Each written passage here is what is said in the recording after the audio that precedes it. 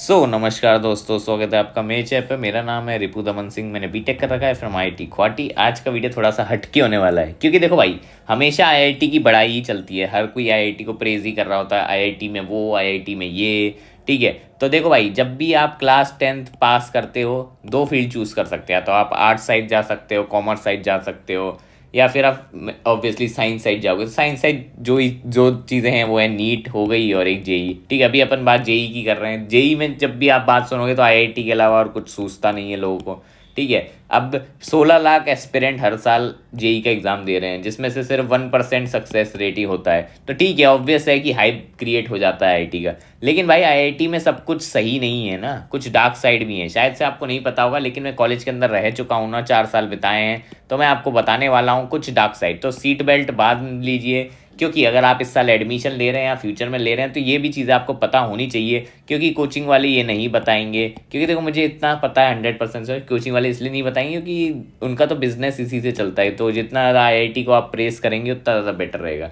ठीक है तो चलिए, अब आपको थोड़ा सा डार्क साइड भी दिखाएँगे आईआईटी का। एक चीज़ रिमेंबर करिए, मैं आईआईटी को क्रिटिसाइज नहीं कर रहा हूँ, मैं जो रियलिटी है वही बता रहा हूँ। तो कमेंट में मुझे पता है, बहुत लोग कहेंगे, भाई, तेरा आई नहीं निकला तो तूने ये अरे भाई, मेरा ऑलरेडी निकल चुका है। पता नहीं कितने बेवकूफ़ लोग हैं। भाई, मैं ऑलरेडी कॉलेज में रह चुका हूँ तो एकदम रियलिटी बताने वाला हूँ, ठीक है? डार्क साइड जो है आई की। और एकदम ऑथेंटिक वे में बताऊँगा, जो मेरे को पता है, और न्यूज़ के साथ बैकअप भी करूँगा, ठीक है? ये मैं कहूँगा पेरेंट्स को भी दिखाइए आप ये वीडियो और इवन जो स्टूडेंट अभी एडमिशन लेंगे, उनको भी पता होना चाहिए, ठीक है? क्योंकि सब आईआईटी में ऐसा नहीं है परफेक्ट हो, क्योंकि उनके थोड़े से फ्लॉज हैं। देखो भाई फ्लॉज नहीं होते तो फिर ग्लोबल रैंक भी वन होती ना आई की, सही बात है कि नहीं?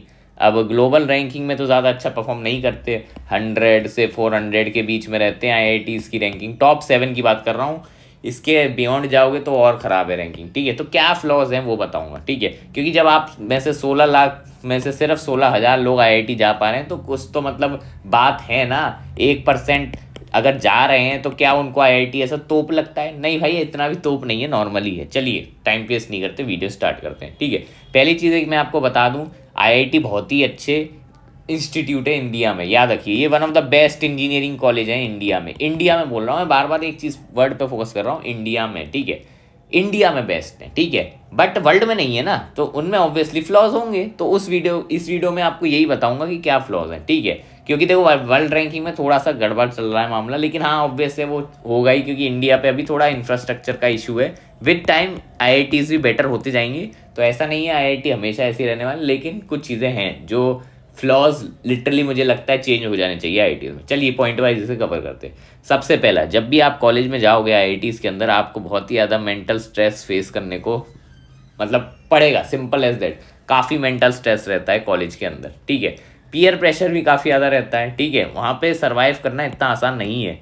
आप खुद ही कॉमन सेंस लगाइए, जब सिर्फ़ एक परसेंट सिलेक्शन रेट है तो सब होशियार लोग ही जा रहे होंगे आईआईटी के अंदर, ठीक है? अब आपको टॉपर के अंदर भी टॉपर मिलेंगे, ठीक है? टॉपर वर्सेस टॉपर वाला सीन मिलेगा आईआईटी के अंदर, ठीक है?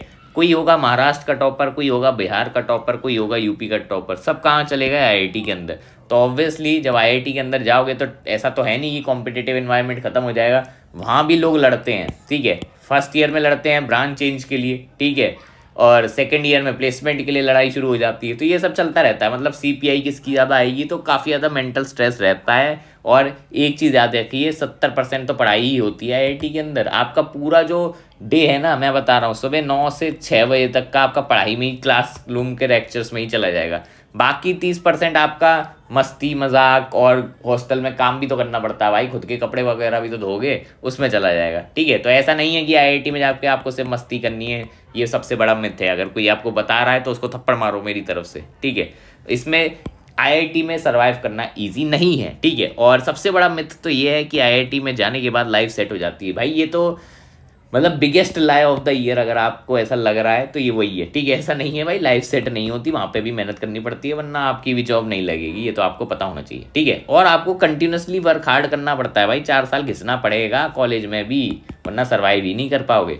और भाई, इसी की वजह से रिसेंट में सुसाइड के रेट भी बढ़ते जा रहे हैं। जैसे आप देख सकते हैं, ये न्यूज़ आई है, ये न्यूज़ आई है, और मैं टॉप आई की बात कर रहा हूँ, मद्रास की बात है, दिल्ली की बात है। ठीक है, ये देखिए, हैदराबाद, मद्रास, ठीक है सारे टॉप आई आई हैं भाई, सारे टॉप ऐसे छोटे मोटे भाई नहीं बोल रहा मैं, ठीक है? तो ये सब एग्जिस्ट करता है और मेरा खुद का लाइव एग्ज़ाम्पल मेरे कॉलेज में ही चार साल के अंदर मैंने टू थ्री केसेस देखे थे सेम चीज़ के ऊपर, ठीक है? वो भी क्यों? मेंटल स्ट्रेस की वजह से भाई मेंटल स्ट्रेस की वजह से, ठीक है? तो कभी भी मेंटल स्ट्रेस होना या तो आप मेरे से बात कर लीजिएगा, या फिर अपने पेरेंट्स से बात कर लो, मैं बता रहा हूँ। पेरेंट्स की वजह से स्ट्रेस है तो मेरे से बात कर लेना, या फिर अपने सीनियरों से बात कर लेना।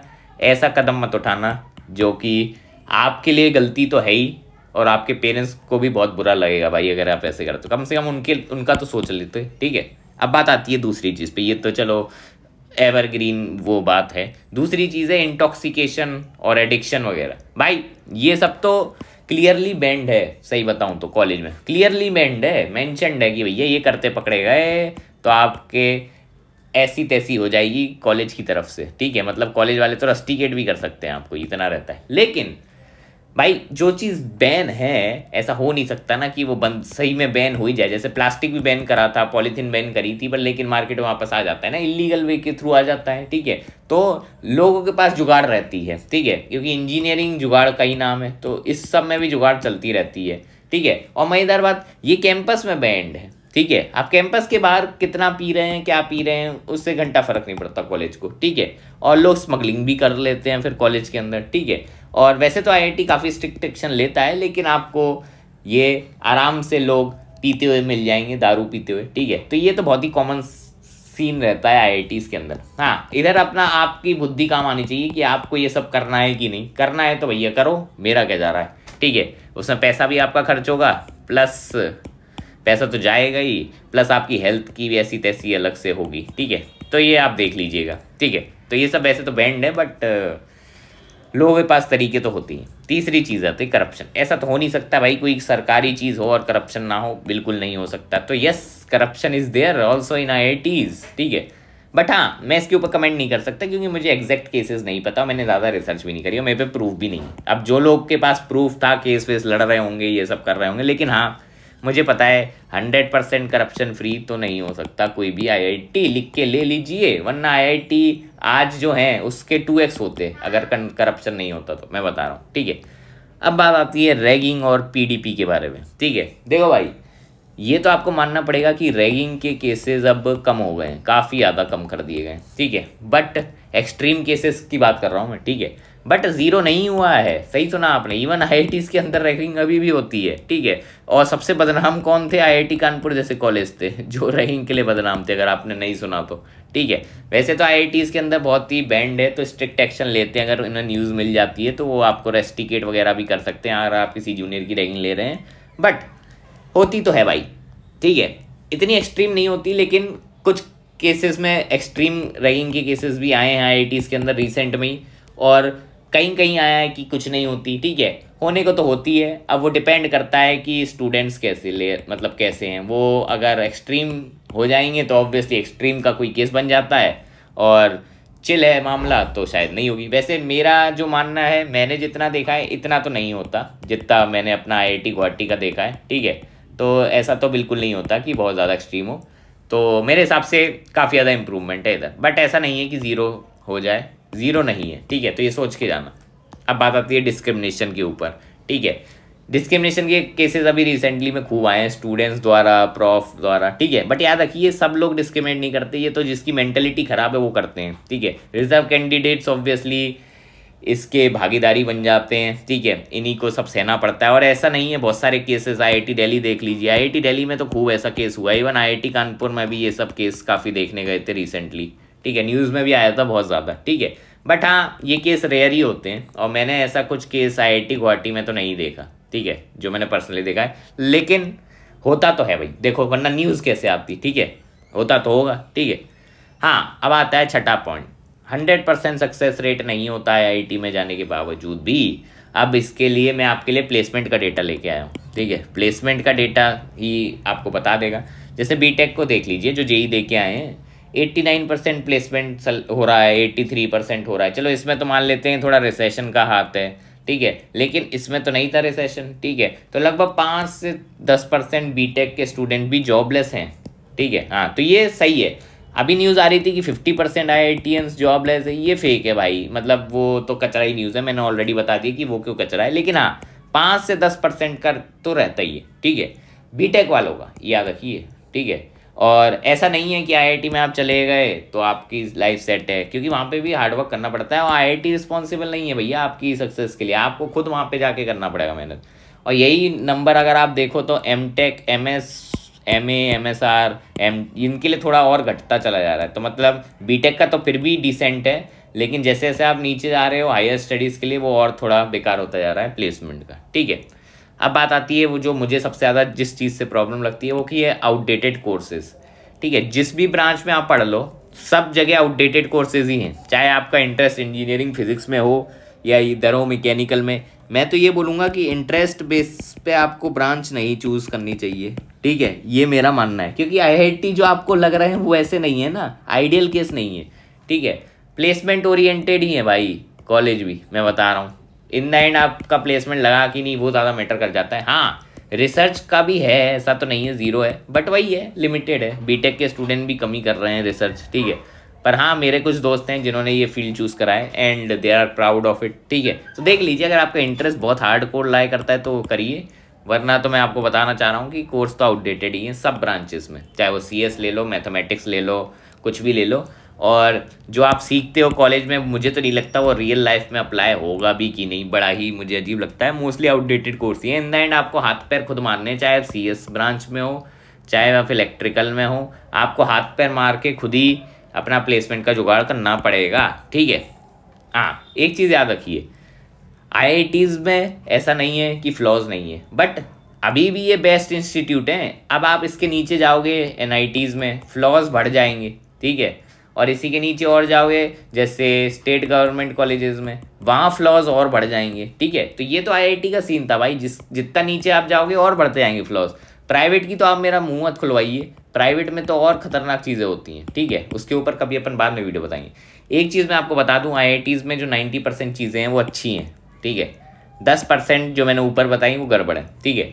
तो इसका मतलब ये नहीं हो गया कि आई बुरे हैं, ठीक है? इसका मतलब ये हो गया कि आई अच्छे हैं, लेकिन एक्सट्रीमली अच्छे नहीं है भाई, इतना भी प्रेज नहीं करना चाहिए, ठीक है? जैसे कुछ लोग वीडियो बनाते हैं ना आई आई टी इतना नहीं होता भाई, ठीक है? नॉर्मल है भाई, मेरे को पता है, जब मैं कॉलेज गया था, क्योंकि मुझे ऐसे ही लग रहा था कि आईआईटी ना जाने क्या होगा। बट नॉर्मल है भाई तुम्हें दो तीन दिन बाद नॉर्मल ही लगने लगे ऐसा कुछ तोप चीज़ नहीं है भाई। इन द एंड तुम इंडिया में ही रह रहे हो फॉरेन तो चले नहीं गए, ठीक है? तो ऐसा भी कुछ हाइप अप नहीं है भाई नॉर्मली होता है, ठीक है? तो बात यह है कि आप हार्ड वर्क करना मत भूलिए। इवन अगर आपका आईआईटी हो या ना हो, कोई भी कॉलेज हो hard work is the key हाँ आईआईटी में जाके अगर आप हार्ड वर्क करते हैं तो it's kind of a shortcut ठीक है? आपको एक हेड स्टार्ट मिल जाता है आपके करियर में, आपकी लाइफ में, और कॉन्फिडेंस ऊपर हो जाता है आपका, ठीक है? और वही बात अगर आपका एनआईटी है तो थोड़ा सा है हार्ड वर्क आपको एक्स्ट्रा लगेगा, क्योंकि जेई में थोड़ी सी आपकी कसर रह गई हो हो सकता है आपकी किस्मत थोड़ी गड़बड़ रह गई हो। बाकी ऐसा नहीं है। बहुत सारे N I T one I I T से बेटर परफॉर्म कर रहे हैं, ठीक है? तो ऐसा बात नहीं है कि आपको आईआईटी नहीं मिला तो ज़िंदगी वहीं ख़त्म हो गई, अब आपका ज़िंदगी का सबसे बड़ा रिग्रेट यही रह गया ऐसा नहीं है भाई। मूव ऑन करिए, क्योंकि ऐसा नहीं है कि सिर्फ़ आईआईटी जाने वाले ही सक्सेसफुल हो रहे हैं, और लोग भी हो रहे हैं, ठीक है? और एवरेज स्टूडेंट भी आईआईटी जा सकता है। मेरे बहुत सारे जो दोस्त हैं, वो एवरेज स्टूडेंट्स ही थे, ठीक है? तो एक्सक्यूज़ मत बनाना। ये जो मैंने वीडियो में बता दिया कि भैया दस चीज़ें ख़राब हैं, बाकी नब्बे तो अच्छी हैं, लेकिन आपने भैया दस चीज़ें ख़राब बना दी, इसलिए मैं अब आई नहीं जाऊँगा, क्योंकि आई में दस चीज़ें ख़राब हैं, इसलिए मैं आई जाऊँगा ही नहीं। अब मैं जाऊँगा एलपीयू लप्पू जाऊँगा मैं, ठीक है? मेरे को तो वहीं जाना है, क्योंकि उधर दस चीज़ें नहीं, उधर सौ चीज़ें ख़राब है, मेरे को सब ख़राब चाहिए, ठीक है? तो ये एक्सक्यूजेज मत बनाना कि आईआईटी में दस चीज़ें ख़राब हैं, इसलिए मैं आईआईटी नहीं जाऊँगा। देखो भाई, दिल से पूछो, ठीक है? पढ़ाई करी होगी तो अंदर से आवाज़ आएगी कि हाँ भाई, तूने पढ़ाई करी थी, पर तेरा किस्मत ख़राब था। और अगर आपको लगता है कि ऐसा नहीं है, दिल ने बोला कि नहीं बेटा, तूने पढ़ाई ही नहीं तो भाई इसमें गलती आपकी है, ठीक है? तो बात ये है, दिल से पूछा करो ऑनेस्टली खुद से तो ऑनेस्ट रहो कि भाई तूने पढ़ा है कि नहीं? ये अपने आप को झूठा दिलासा मत दो कि बुक सामने रखी है, मैं बैठा हूँ और मन में कुछ और चल रहा है मेरे। पढ़ाई की एक्टिंग कर रहा हूँ और पढ़ाई नहीं हो रही। इससे तुम्हारा ही नुकसान है, ठीक है? तो पढ़ना है तो पढ़ो, नहीं तो क्यों पढ़ रहे हो भाई? कुछ और कर लो। ठीक है? तो आज की वीडियो में यही था। Thank you thank for watching मिलते हैं आपको नेक्स्ट वीडियो में। बाय